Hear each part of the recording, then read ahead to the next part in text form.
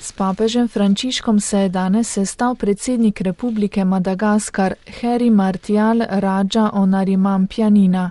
Sogovorniki so izrazili zadovoljstvo ob dobrih odnosih, ki obstajajo med svetim sedežem in Madagaskarjem, ter se zaustavili pri sedanji obnovitveni fazi države, pri čemer je bil izpostavljen pozitiven prispevek katoliške cerkve na poti k narodni spravi in politični stabilnosti, ter tudi njen prispevek na področju vzgoje, izobraževanja in zdravstva.